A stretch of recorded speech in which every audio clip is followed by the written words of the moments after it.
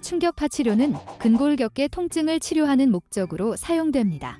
하지만 이름에서 오는 느낌 때문인지 체외 충격파 치료라 하면 치료가 아플 것 같은 오해를 부르기도 합니다. 체외 충격파 치료는 높은 에너지를 가진 음향 충격파를 통증 부위에 연속적으로 전달하여 증상을 완화시키는 치유법인데요.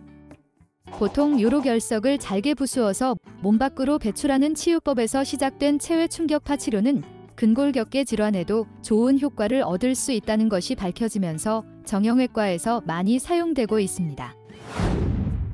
사용 범위는 근골격계 통증 질환, 목 디스크, 허리 디스크 등 척추 질환,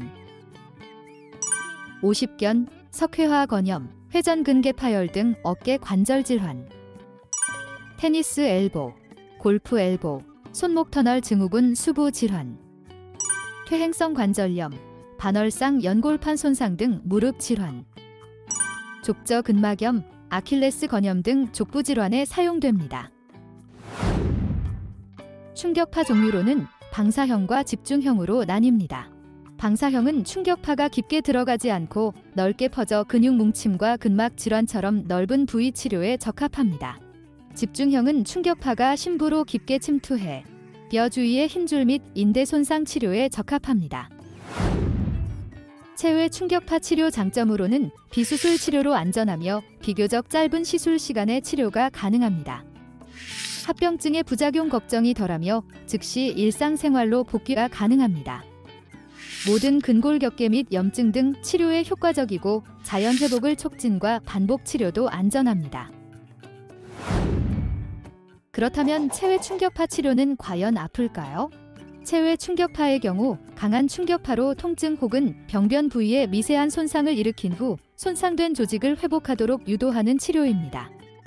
따라서 즉시 효과를 보기보다는 일정 기간의 회복 시간이 필요하며 치료 후 발생하는 통증은 치료 과정으로 보는 것이 맞습니다.